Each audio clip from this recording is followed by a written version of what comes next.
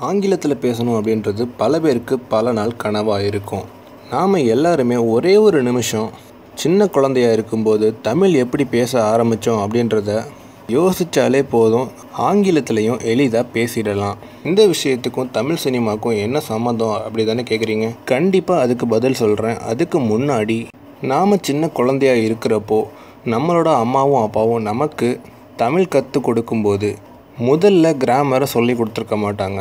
அவங்க என்ன பேசுகிறாங்களோ அதை பார்த்து அப்படியே நம்ம காப்பி பண்ணியிருப்போம் அதன் பிறகு சில தவறுகள் வரும்போது அதாவது ஒரு சின்ன எக்ஸாம்பிள் சொல்கிறேன் நம்ம வீட்டிலையே ஒரு சின்ன குழந்தை தமிழ் பேச ஆரம்பிக்குது அப்படின்னா கண்டிப்பாக எவ்வளோ நல்லா பேசுகிற குழந்தையும் சில தவறுகள் பண்ணும். எடுத்துக்காட்டுக்கு அப்பா நாளைக்கு வந்தாங்க. இந்த வாக்கியத்தை பார்த்தீங்க அப்படின்னா அப்பா நாளைக்கு வருவாங்க. அப்படின்றத அப்பா நாளைக்கு வந்தாங்க அப்படின்னு குழந்தைகள் பேசுகிறத நம்ம எல்லாருமே கேட்டிருப்போம். இதுக்கு பேர் தான் கிராமட்டிக்கல் மிஸ்டேக் இதுக்கு தான் கிராமர் தேவை. ஆனால் அந்த குழந்தைக்கு கிராமரை மட்டுமே சொல்லி கொடுத்தா கண்டிப்பாக தமிழ் பேசுகிறதே மறந்துருக்கும். அதே மாதிரி தான் நாம் இப்போது ஸ்போக்கன் இங்கிலீஷ் கிளாஸ்னு போயிட்டு அங்கே கிராமரை மட்டுமே படிக்கிறோம். இந்த கிராமரை தூக்கி போட்டு ஃபஸ்ட்டு பேசுகிறதுக்கு கற்றுக்கிட்டோம் அப்படின்னா கண்டிப்பாக ஆங்கிலம் பேசுகிறது அப்படின்றது எளிதான ஒன்றா இருக்கும்.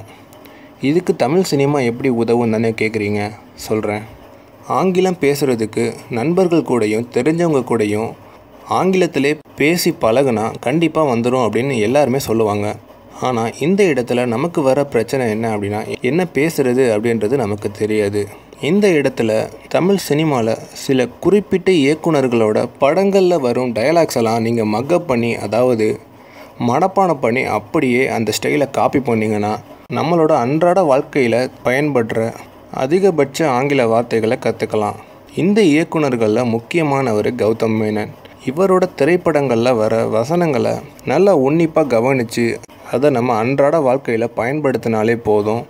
நாமளும் எளிமையாக ஆங்கிலத்தில் பேசலாம். இந்த செய்தி உங்களுக்கு பயனுள்ளதாக அமைஞ்சுது அப்படின்னு திங்க் பண்ணிங்கன்னா கண்டிப்பாக உங்களோட நெருக்கமானவங்களுக்கும் இதை ஷேர் பண்ணுங்கள்